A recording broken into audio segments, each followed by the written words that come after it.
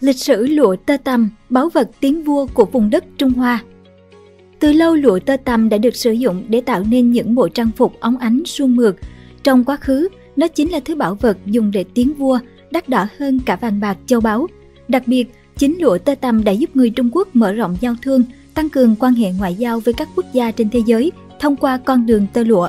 Vậy rốt cuộc, lụa tơ tằm có nguồn gốc từ đâu và ai là người có công sáng tạo nó? Hoàng hậu Luy Tổ, mẹ đẻ nghề trồng dâu nuôi tầm.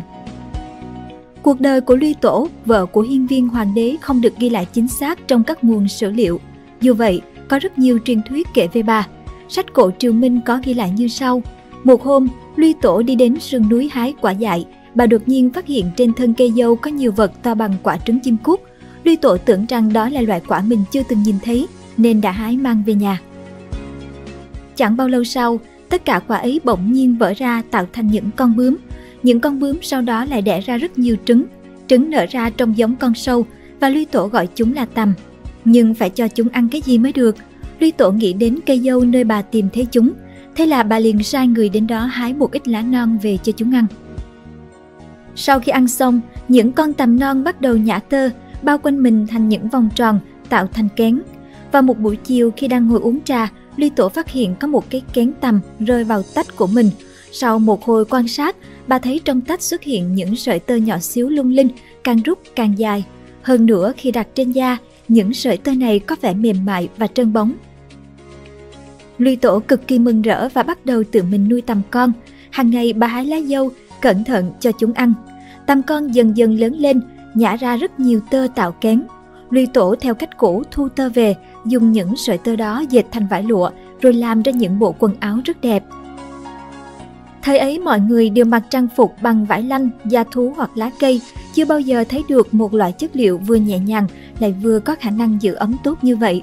Thế là nhiều người kéo đến hỏi Luy Tổ, bà chia sẻ quá trình phát hiện cây dâu và làm thành tơ, đồng thời nhẫn nại dạy cho họ kỹ thuật dệt vải từ tơ. Sự việc này đã gây chấn động khắp các địa phương, Tây Lăng Vương nghe danh Lui Tổ thông minh xinh đẹp nên đã ngỏ lời nhận bà làm con nuôi. Các thị tộc khác biết vậy cũng thi nhau đến cầu hôn, nhưng Lui Tổ đều không ưng ý. Lúc ấy, thủ lĩnh một bộ tộc ở phương Bắc họ Công Tôn, tên Hiên Viên, đang chinh chiến đi vào Tây Lăng, cũng nghe danh Luy Tổ và đến cầu hôn. Không lâu sau, hai người trở thành vợ chồng, Luy Tổ theo chồng chinh chiến từ Nam chí Bắc. Về sau, Hiên Viên đánh bại Sivu, Viêm Đế, thống nhất Trung Nguyên trở thành hiên viên hoàng đế. Thiên hạ yên ổn, hoàng đế bắt đầu dạy dân chúng làm ruộng, gieo trồng ngũ cốc, còn hoàng hậu Luy Tổ dạy mọi người cách trồng dâu nuôi tầm, ươm tơ làm quần áo. Từ đó về sau, dân chúng bắt đầu cuộc sống, đàn ông cày ruộng, đàn bà dệt vải. Trải qua hàng nghìn năm, công việc hái dâu, ươm tơ, dệt vải, may quần áo luôn gắn liền với đời sống của người phụ nữ, là một phần quan trọng của nền văn hóa Trung Hoa truyền thống. Nhờ có công phát minh ra lụa tơ tằm nên hoàng hậu Luy Tổ đã được người đời phong là tiên tằm hay mẹ tằm. Từ triều nhà Chu đến triều nhà Thanh, các hoàng hậu đều làm lễ tế bái tiên tằm Luy Tổ. Trong chu lễ có viết, vào mùa xuân hàng năm, hoàng hậu sẽ đích thân dẫn các phi tần trong cung đến ngoại ô phía Bắc để cử hành lễ thân tằm. Hoàng hậu không chỉ làm lễ tế tiên tằm mà còn tự mình hái dâu nuôi tằm, lấy việc này để khuyến khích nữ giới trong thiên hạ siêng năng dệt vải. Ở nhiều nơi, người dân cũng lập bàn thờ tiên tầm, xây đền tiên tầm và tổ chức lễ hội văn hóa luy tổ để thể hiện sự trân trọng và tưởng nhớ. Lụa, bảo vật quý giá của vùng đất Trung Hoa Trong một thời gian dài, lụa là chất liệu dành riêng cho hoàng đế Trung Quốc và những người thân cận, như thành viên hoàng thất và quan lại có chức sắc rất cao. Một số nguồn sử liệu cũ ghi lại rằng hoàng đế luôn mặc lụa trắng trong cung và lụa vàng khi ra ngoài. Dần dần những quy định về việc ai có thể mặc và sử dụng lụa ở Trung Quốc bắt đầu tan biến. Về sau, những người giàu có cũng có thể sử dụng quần áo may từ lụa. Vào thời nhà Hán, lụa thậm chí đã trở thành một loại tiền tệ. Thời đó, người nông dân hoàn toàn có thể đóng thuế bằng ngũ cốc hoặc lụa thay cho tiền bạc. Cũng bắt đầu từ triều đại nhà Hán, trang phục làm từ lụa bắt đầu được xuất sang các nước khác ở châu Á, thậm chí là phương Tây xa xôi, thông qua con đường tơ lụa – sự xuất hiện của loại trang phục mềm mỏng đã khiến người dân nhiều nước trên thế giới sửng sốt và ngưỡng mộ. Kể từ đó, lụa Trung Quốc trở thành mặt hàng được săn đón số 1, thậm chí còn đắt hơn cả vàng bạc. Cũng chính vì lẽ đó mà suốt nhiều thế kỷ, các vị vua đã cố gắng giữ bí mật phương pháp nuôi tầm dệt lụa nhằm giữ thế độc quyền lụa của người Trung Hoa. Thế nhưng cuối cùng, kỹ thuật trồng dâu nuôi tầm dệt lụa vẫn bị lộ ra ngoài. Nguyên nhân là vì người Trung Quốc đi tứ xứ làm ăn, họ mang theo kỹ thuật này sau đó truyền bá lại cho những người ở địa phương khác. Theo đó, người Triều Tiên đã học được nghề trồng dâu nuôi tầm vào khoảng năm 200 trước công nguyên, sau đó đến lượt người Khotan cổ vào khoảng nửa đầu thế kỷ 1, người Ấn Độ khoảng năm 300. Đến khoảng năm 550, hoàng đế Byzantine Justinianus I đã ra lệnh cho các thương gia buôn lậu kén và trứng tằm từ Trung Quốc, sau đó học cách nuôi tằm và dệt tơ lụa. Dần dần, Trung Hoa đã đánh mất thế độc quyền về lụa. Lụa Việt Nam có từ khi nào? Tại Việt Nam, theo các tài liệu lịch sử, nghề trồng dâu nuôi tầm dệt lụa có từ thời Hùng Vương, tức là cách đây khoảng hơn 4.000 năm. Từ tơ tầm, người Việt đã dệt nên nhiều loại lụa đặc sắc.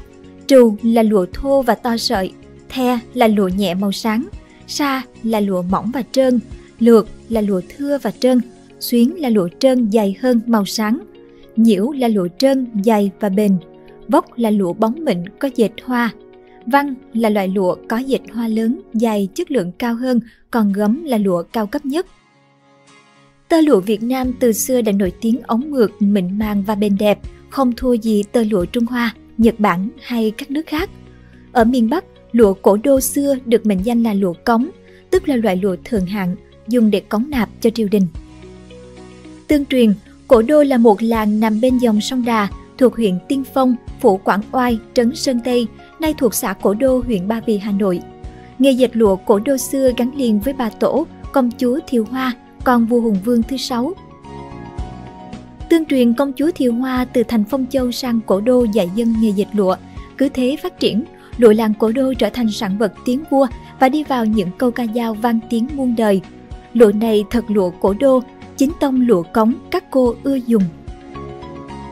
Trong lịch sử ngành hàng tơ lụa thế giới, Việt Nam tuy không phải là một đế chế, nhưng lại được nhìn nhận như một quốc gia có lịch sử nghề tơ lụa lâu đời, trải qua hàng nghìn năm với nhiều vùng trồng dâu nuôi tầm dệt lụa nổi tiếng như là Cổ Đô, Vạn Phúc ở Hà Nội, Nha Xá ở Hà Nam, Cổ Chất ở Nam Định, Duy Duyên, Mã Châu ở Quảng Nam, Tân Châu ở An Giang, đặc biệt là thủ phủ Bảo Lộc ở Lâm Đồng. Ngày nay, Tơ lụa đã không còn quá hiếm hay đắt đỏ như trước nhờ công nghệ nuôi tầm và dệt may công nghiệp phát triển. Thế nhưng, trang phục làm từ lụa vẫn được rất nhiều người trên thế giới yêu thích, đặc biệt là người châu Á. Họ thường xuyên dùng lụa để may trang phục truyền thống và khăn đeo. Cảm ơn bạn đã xem video trên kênh Người Nổi Tiếng. Đừng quên nhấn nút đăng ký và xem thêm những video mới để ủng hộ nhóm nhé!